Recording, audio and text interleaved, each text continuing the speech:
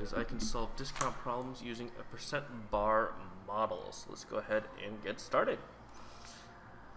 Uh, when you mark something down, that means that you that it is uh, less than 100% of the total.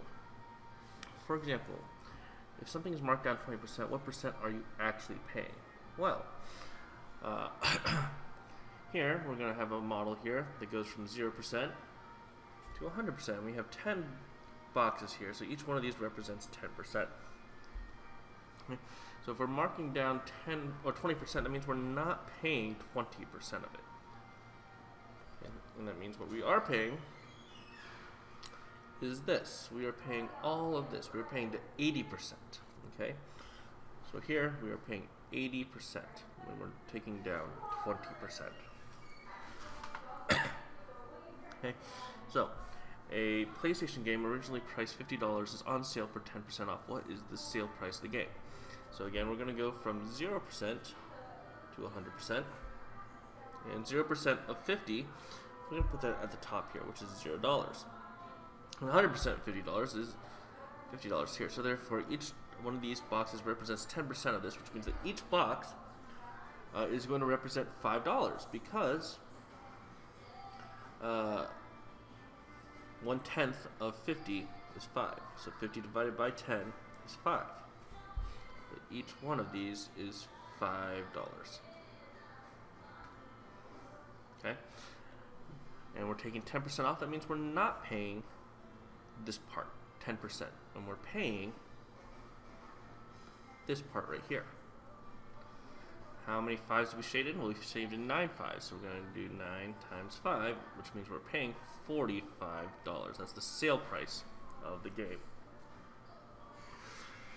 The Stefan family dinner came to $30, but Mrs. Stephen or Stefan, had a coupon for 20% off. What is the discounted dinner bill?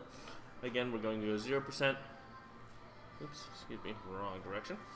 Uh, 0% to 100%. And 100% represents $30, 0% represents $0. And that means that each one of these is $3 each. Because 30 divided by 10, because we have 10 boxes, is going to be 30. 20% off means that we are not paying 20%, two boxes worth, which means we are paying eight boxes worth. Okay, so that's eight times three, which is $24. So the dinner costs $24. Here it says Dillard's is having a Columbus Day sale, and shorts originally priced at $20 are marked down 15%. And we are to find what the sale price is. Okay, I know it doesn't say that, but uh, we're supposed to find the sale price. So 0%, 100% again, and 100% this time is $20. and $0, so 20 $20, okay? Uh, that means that each one of these is 2. Now, what's unique about this one is that this is 15%. It's not a multiple of 10. So how do we go about doing that? Well, again, we're not paying 15%. So let's split this part into two. So this is 5% and 5%. So we're splitting this into two. And we're not paying that part. And this part uh, is going to be half of two because we took half of a box, so it's going to be worth one. And that means what we're paying is this much right here. So that's 2, 2, 2, 2, 2, 2, 2, 2, and 1. Which when we add those up, gets us uh, 2 times 8 plus 1 which gets us $17. So the price is $17 after a 15% discount.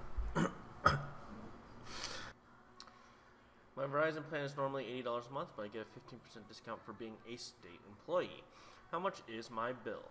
Go ahead and try this one out on your own.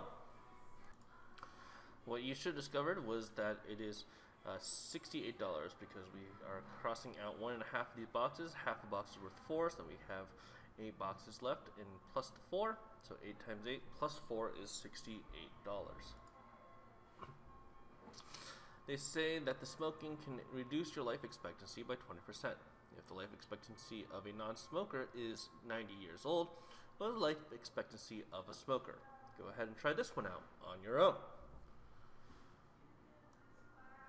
What you should have found is that Uh, the life expectancy of a smoker would then be 72 years old because one tenth of 90 is 9, so each one of these boxes is worth 9. and we have 8 boxes because of 80% of the life that they're going to live. 8 times 9 equals 72. Go ahead and try number 6 out on your own. What you should have found is that each one of these boxes is worth 25 because uh, 10% of 250, which is 250 divided by 10, is 25. And we're doing 7 boxes because we have 70% of the calories that we're still going to have. So 7 times 25 is 175 uh, calories. Go ahead and try number 7 and number 8 on your own. What you should have found for question number 7 is that it's 31.5 because we're taking 10% off. Each one of these is worth 3.5 because the total amount is $35. 35 divided by 10 is 3.5. So 3.5 times 9 gets us 31.50.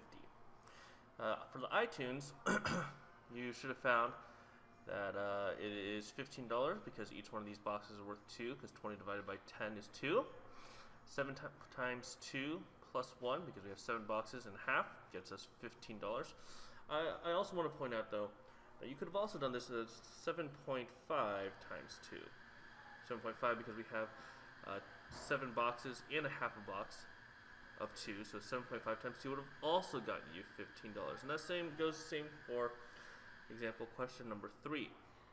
Instead of 2 times 8 plus 1, we could have just done 2 times 8.5 because we have 8.5 boxes and that would have gotten us also $17.